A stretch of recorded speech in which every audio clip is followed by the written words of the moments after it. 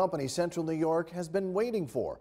Cree Incorporated, based out of North Carolina, will invest in a new facility that they're calling North Fab, creating what they're calling a silicon carbide corridor between Durham, North Carolina and the Utica area. There's a press conference set for later this afternoon around 4 o'clock at SUNY Poly. The governor will be at that announcement. Now, the company will use this new location for wafer fabrication, a procedure where many repeated sequential processes produce complete circuits on semiconductor wafers. Those wafers are then used in creating amplifiers, LEDs, and computer components. Now, the size of the new facility is set to be up to 480,000 square feet upon completion, approximately one fourth of which will be clean room space, providing room for future expansion.